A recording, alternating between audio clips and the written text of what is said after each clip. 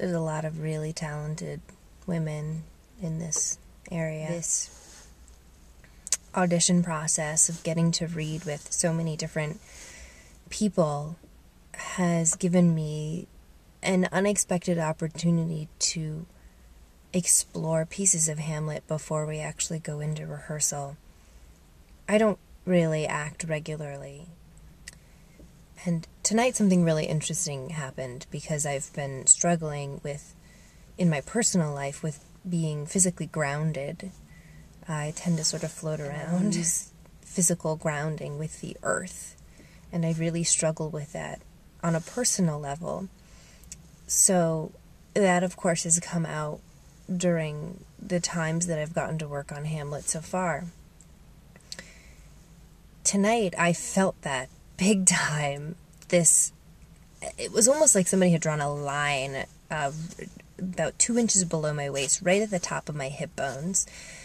Like the top part of my body was moving in a different area than the bottom half. There was n- there was no rhythmic connection, and uh, I, I tried to play with it during when I was reading Opposite Women and tried to find different ways to physically engage myself to make that connection happen and I couldn't get it and, and then something happened. Uh, I was reading with a woman auditioning for Rosencrantz and she managed to spark a response from me that nobody had gotten from me that evening and it was it was both anger and fear and um,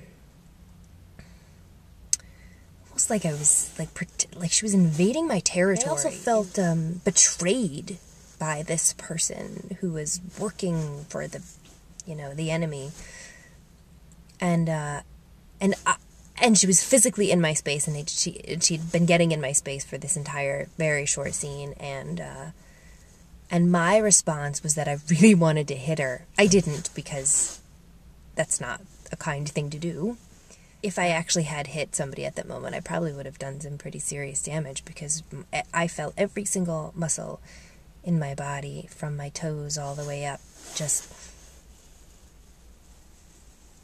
uh, and and I kept seeking for that feeling throughout the rest of the evening. What could I do in the scene to create that complete engagement? I haven't got it yet, but this was a really good start.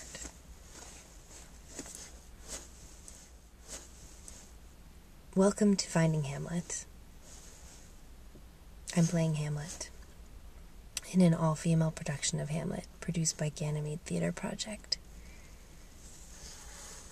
Uh, this is where you will get to share in this process, this very different process. I hope you'll come back.